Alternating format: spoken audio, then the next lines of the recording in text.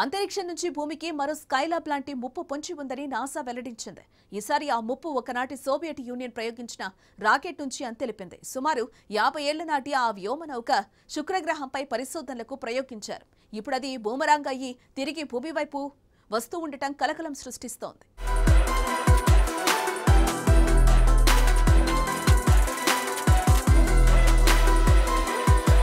శుక్రగ్రహంపై పరిశోధనల కోసం యాభేళ్ళ కిందట సోవియట్ యూనియన్ ప్రయోగించిన ఒక స్పేస్ క్రాఫ్ట్ ఇప్పుడు కలకలం సృష్టిస్తోంది. గమ్యస్థానానికి చేరడంలో విఫలమైన ఈ వ్యోమనౌక ఇప్పుడు భూమి వైపు దూసుకొస్తోంది. రాబోయే మూడో లేదా నాలుగేళ్ళలో ఇది భూమిని ఢీకొట్టొచ్చని శాస్త్రవేత్తలు లెక్కలు కడుతున్నారు.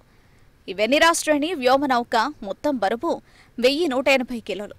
అందులో డీసెంట్ క్రాఫ్ట్ బరువు నాలుగు వందల తొంభై ఐదు కిలోలు. సాధారణ ఉపగ్రహాలు వ్యోమనౌకల్లోని భాగాలు కక్ష నుంచి భూమి దిశగా దూసుకొచ్చేటప్పుడు వాతావరణ రాపిడికి గురవుతాయి. ఫలితంగా తీవ్ర స్థాయిలో వేడెక్కి మండిపోతాయి. కొన్ని శకలాలే ఈ ప్రక్రియను తట్టుకుని నేల లేదా సముద్రంలో పడుతుంటాయి. దట్టమైన శుక్రుడి వాతావరణ పొరలను తట్టుకునేలా కాస్మోస్ నాలుగు వందల ఎనభై రెండు రూపొందింది.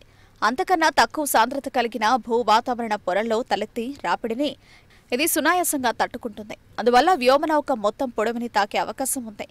ల్యాండింగ్ సమయంలో వేగం తగ్గించడానికి శుక్రుడు ఉపరితలాన్ని బలంగా ఢీకొట్టకుండా ఉండడానికి పారాచూట్ వ్యవస్థను ఏర్పాటు చేశారు.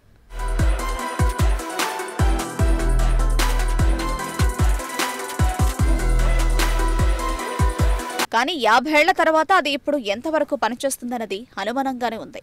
అందుకే సదరు స్పేస్ క్రాఫ్ట్ పొడవని బలంగానే తాకొచ్చునని అనుమానాలున్నాయి. పంతొమ్మిది వందల డెబ్బై రెండు మార్చి ఇరవై సోవియట్ యూనియన్ శుక్రగ్రహంపై పరిశోధనలకు ఈ వ్యోమనౌకను ప్రయోగించింది. కాస్మోస్ నాలుగు వందల ఎనభై రెండు మోల్నియా అనే రాకెట్ ద్వారా ప్రయోగించారు. ఈ రాకెట్ వ్యోమ నౌకను భూకక్ష దాటించి శుక్రగ్రహం వైపు వెళ్ళేందుకు వేలుగా హీలియోస్ అంటే కక్షలోకి ప్రవేశపెట్టాల్సింది. మోల్నియాలోని ఎగువ దశ ఇంజిన్ అర్ధాంతరంగా ఆగిపోవడంతో వ్యోమనౌక భూకక్షలోనే చిక్కుకుపోయింది. కక్షలోకి చేరాక కాస్మోస్ ఫోర్ ఎయిట్ టూ రెండుగా విడిపోయింది. మెయిన్ బస్ భాగం పంతొమ్మిది వందల ఎనభై ఒకటిలోని భూ వాతావరణంలోకి ప్రవేశించగా శుక్రుడి ఉపరితలంపై దిగడానికి ఉద్దేశించిన డిసెంట్ క్రాఫ్ట్ మాత్రం ఇంకా కక్షలోనే ఉంది. రాకెట్ ఇంజన్ ఎంతసేపు పనిచేయాలో నిర్దేశించే టైమర్ను తప్పుగా సెట్ చేయడమే ఇందుకు కారణంగా భావిస్తున్నారు.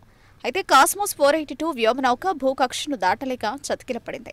నాటి నుంచి పొడమి చుట్టూ దీర్ఘ వృత్తాకార కక్షలో తిరుగుతుంది. మొదట్లో తొమ్మిది వేల ఎనిమిది వందల రెండు కిలోమీటర్ల దూరంలో కక్షలో ఉండేది. తర్వాత క్రమంగా కిందకు దిగుతోంది.